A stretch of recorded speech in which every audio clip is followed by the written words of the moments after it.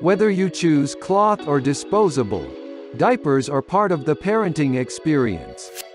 Newborn babies can go through 10 or more diapers every day, and the average child won't begin potty training until about 21 months old.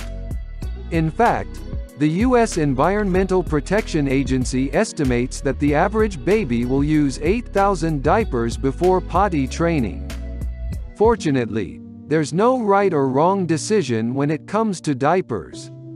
There are a lot of things to consider when choosing cloth or disposable diapers, including cost, ease of use, environmental impact and more.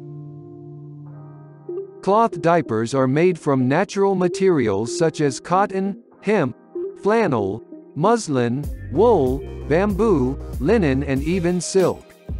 These materials are used in conjunction with human-made materials like nylon, suede and polyester which are used as non-absorbent liners and allow the diaper to remain dry.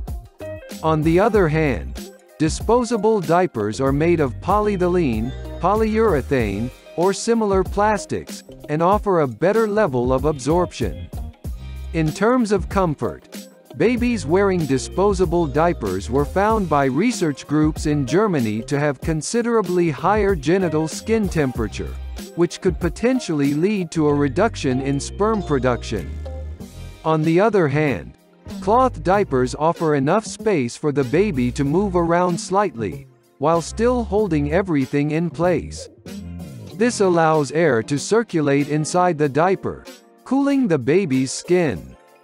There have been reports of children reacting to ingredients in traditional disposable diapers.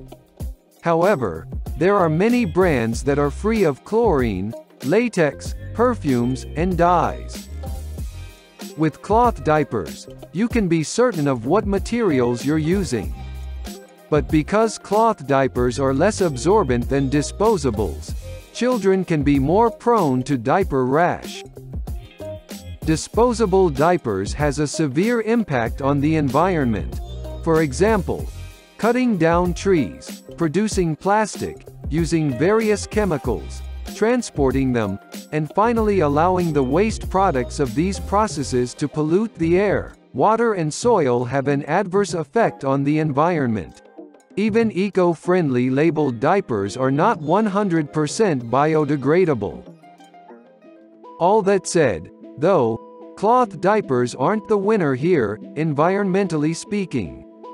They are preferable when it comes to environmental impact, but the difference between the two options isn't as significant as you'd expect. Consider that cloth diapers are typically made from cotton, the growing of which relies on water and an inordinately heavy use of chemical fertilizers and insecticides.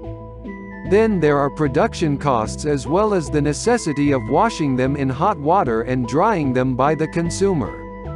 And the detergent using to clean the cloth diaper is a water-polluting agent.